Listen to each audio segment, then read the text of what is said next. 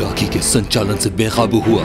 शर्मिता का सब सारे लोग देख रहे हैं।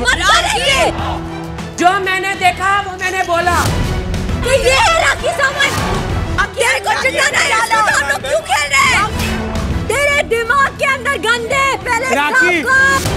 तेरी स्टुपिडिटी कहीं हद होनी चाहिए। तू क्या अंधी है? तू अंधी है। ऊपर मत चढ़।